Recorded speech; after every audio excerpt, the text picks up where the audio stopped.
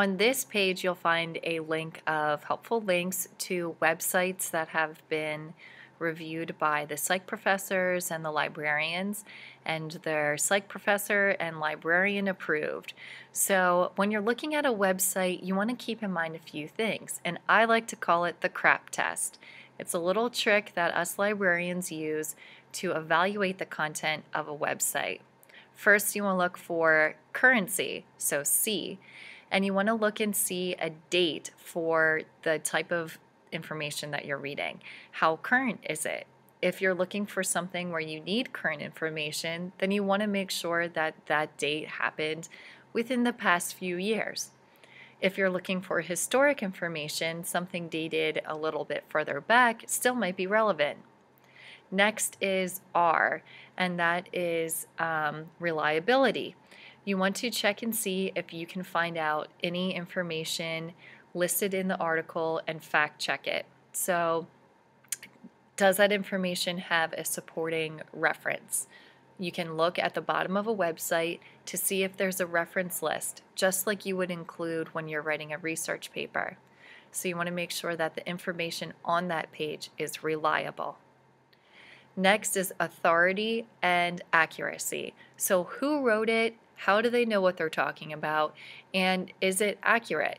So to find out this information, take a look at the author and you can um, usually click the author's name. It will be a link and that will take you to more information about that author. Or you can go to the About page of the website and look and see if they provide any information as to how they get their content. At a last resort, you can Google the author's name to see if you can find any information. But when it gets down to it, if it's really difficult to find information about that author, then they're probably not a super um, reliable, authoritative resource. Also, you want to check and see that the information is accurate. So again, if there are facts and figures being used, are they backed up by any other sort of supporting material? Um, or does the content seem to come across as not factual or maybe more opinionated than factual? Then you kind of want to steer clear of those resources.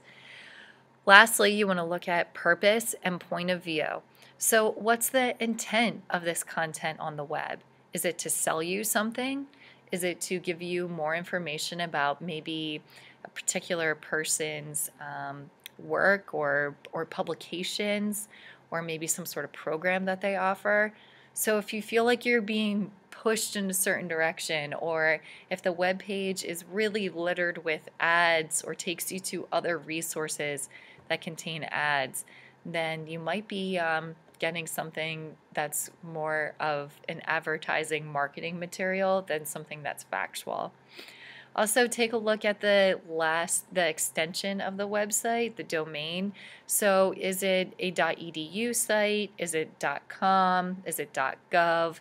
.gov means it's coming from the government. .edu from a um, educational institution, and .com it could come from anyone who decided to purchase that domain. Keep in mind, even when you're looking at .edus, they're even giving I don't sixth grade or younger web space. So you might come across some information that seems really helpful, but uh, it wasn't written by a professional. It was written by a 12-year-old. So keep in mind currency, reliability, accuracy and authority, purpose and point of view. CRAAPP. And apply the CRAAPP test to uh, your website research.